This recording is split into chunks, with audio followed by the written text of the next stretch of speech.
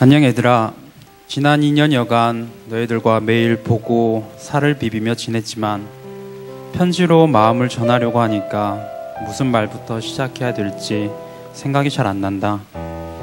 우리가 처음 만났던 때를 기억하니 그때는 너희들이 어려서 세상 물정 모르는 철없는 아이들로만 보였는데 지금 이곳에서 보니까 어느덧 다들 덩치도 크고 마음도 넓어져 있구나. 선생님은 한 일이 아무것도 없는데 몸도 마음도 훌쩍 자라, 훌쩍 자라버린 너희들을 보며 하나님이 링컨을 많이 사랑하신다 싶어 너무 감사하다. 우리가 함께 했던 시간들이 항상 즐겁지만 않았을 거란 걸 알아. 타이트하게 짜인 스케줄을 힘들어하며 툴툴대는 너희들을 보면서 이 자식들 다 지나고 나면 너희들이 자라 있을 거야. 라고 말을 했지만 너무 안타까웠단다.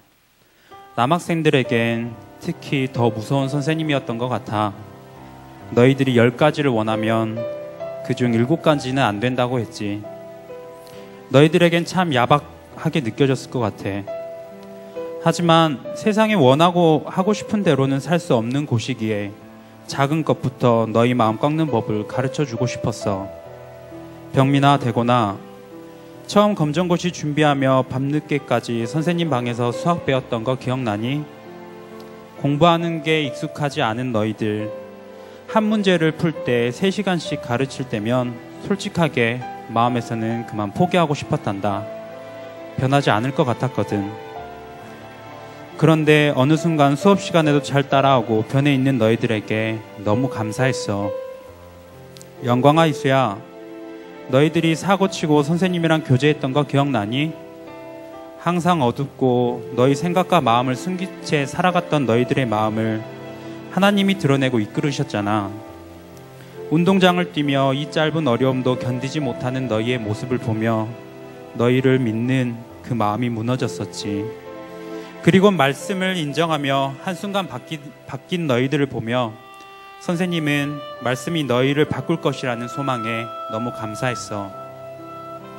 너희들과 가깝게 지내려고 항상 사감실 문을 열어두었는데 이제는 다른 방을 지날 때도 복도처럼 이용하는 신일이나 불쑥 들어와서 휘젓고 나가는 대곤이를 보면 괜히 그랬나 싶기도 해.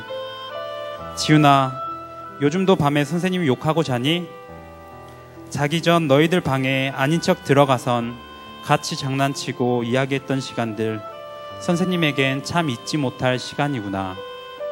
그리고 우리 여학생들 선생님인 여고생에 대한 환상은 너희들을 만나고부터 완전히 깨져버렸어.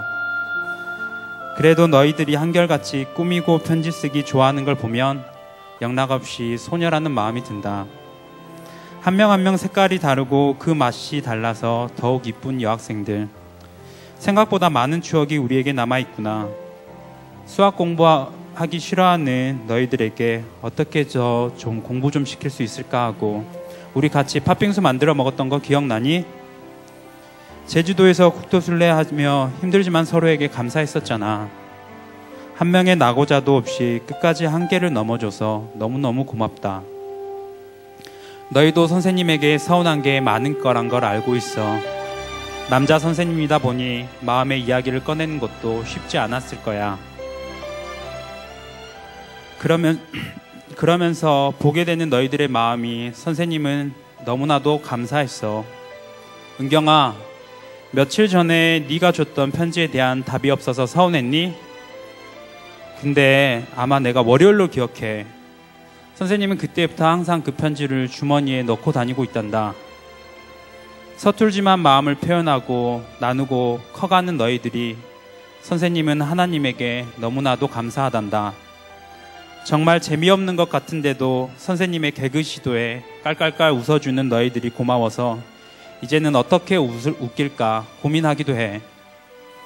얘들아, 너희들이 선생님은, 너희들은 선생님의 신앙의 거울이야.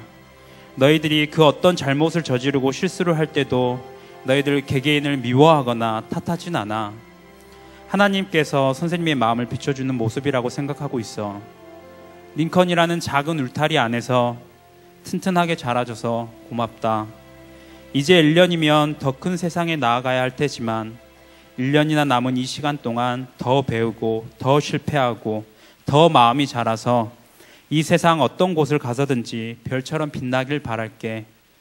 그냥 빛나지 말고 누구보다 찬란하게 빛나야 한다.